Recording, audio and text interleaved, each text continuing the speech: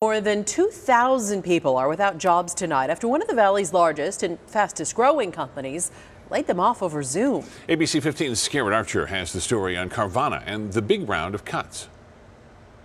I'm sad to have to say goodbye. To help answer the many questions going through your mind, you will receive an email at the end of today to your personal email account.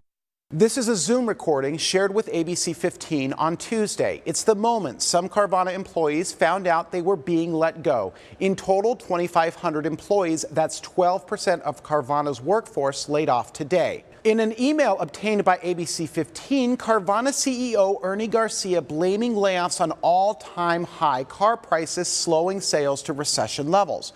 We spoke with the mother who says that she has two children who work for Carvana. One was laid off today.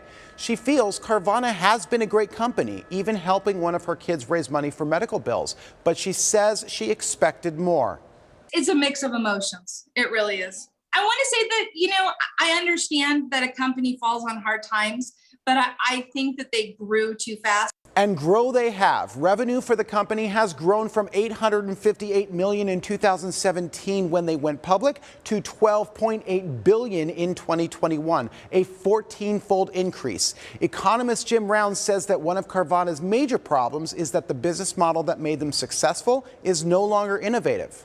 Now there's lots of other groups that have the same way of doing business, even the old uh, um, car dealers. Uh, you can go and you can buy your car almost sight unseen. Carvana's stock was a darling of the pandemic era market, reaching a peak of almost 350 a share in August of 2021. Today, the stock closing just below 39, a decline of almost 90 percent.